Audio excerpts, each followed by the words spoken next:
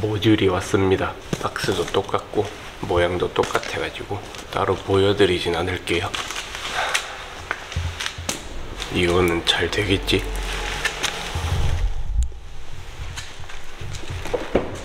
바로 뜯어보자.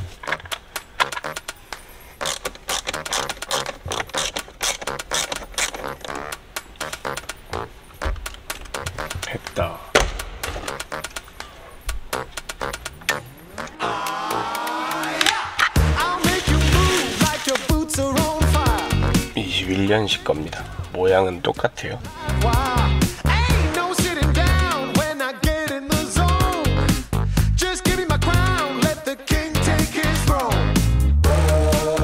일단은 앰비언트랑 그건 안 됩니다.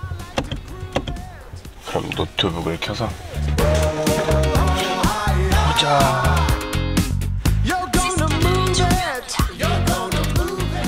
지금 계획은 카프들을 만들어서 작동이 되는 거를 보는 게 먼저라. 해보자. 볼트는 껴두자.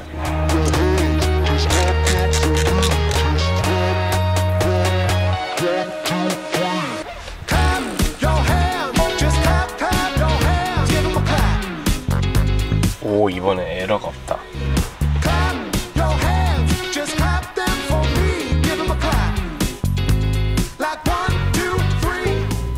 오. 오, 오, 오. 다시, 다시, 다시. 이거를 먼저 해볼게요. 눈 찌르기. 오, 뭐야, 뭐야, 뭐야. 됐어, 됐어.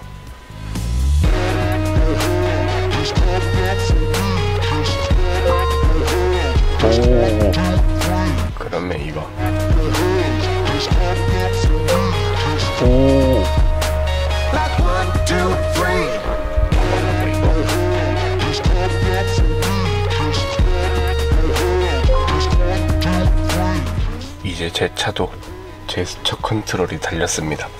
어허. 대박. 역시 그 지난번에 모듈이 문제였던 것 같아. 이거를 제가 더 싸게 샀거든요. 이거를 한 150달러?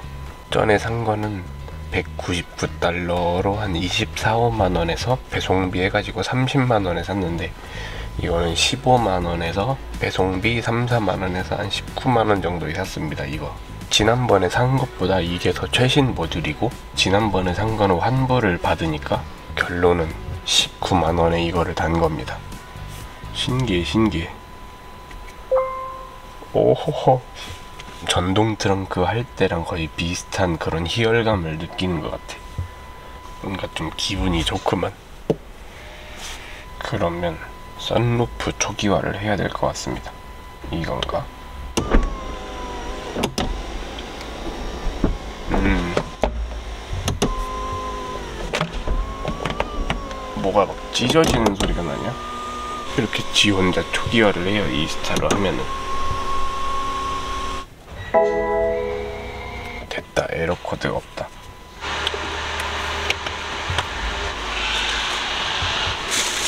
제스처로 뭐가 되는지 좀 확인을 해보자.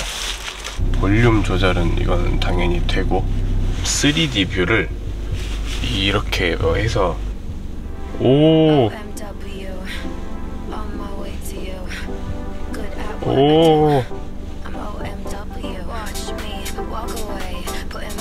오 신기해. 이전 트랙 그런 way. 오,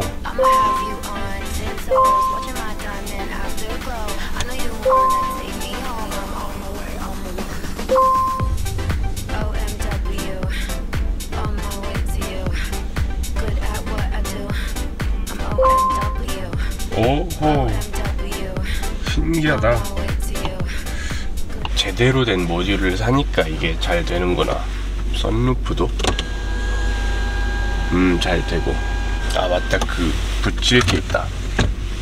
이거를 샀는데요.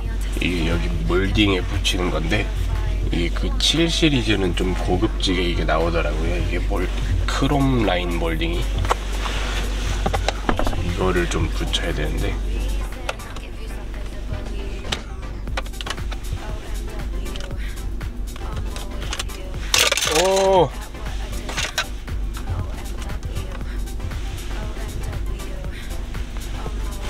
좀 밝을 때 가서 붙여야 될 것 같습니다. 잘 안 보여. 이렇게 제스처는 또 성공을 했습니다. 한 번에 우여곡절이 있었지만 그거는 모듈의 문제인 걸로 나왔으니까 애초에 정상적인 모듈을 샀더라면은 그때 끝났을 텐데 사실 제스처를 한 이유가 피조 부저 때문이기도 하거든요. 그래서